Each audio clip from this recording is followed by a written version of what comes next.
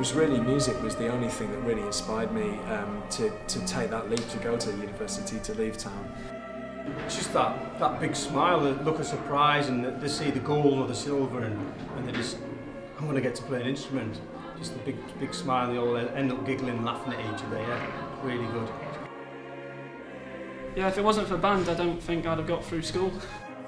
I feel as though I've grown more confident. Before I was like a bit, I didn't really want to get up in class, I didn't really want to put my hand up and answer questions, but now leading the samba group I feel like like I've kind of come out my shell a bit more.